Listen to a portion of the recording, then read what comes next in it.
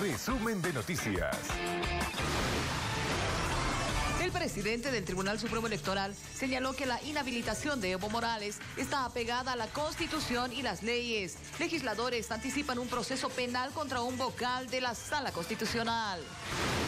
La Alianza Libre 21 señaló que trabajan en un acercamiento con Creemos. La agrupación que postula a Fernando Camacho descartó cualquier posibilidad de una alianza con Jorge Quiroga. El alcalde de La Paz informó que el resultado del mega rastrillaje es más de 74 mil hogares visitados.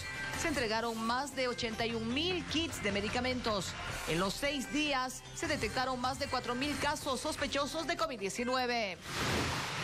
El gobierno explica el nuevo plan de vivienda que lanzará la siguiente semana. Son créditos destinados para construcción y refacción de viviendas y está destinado a personas que tienen ingresos menores a 6.366 bolivianos.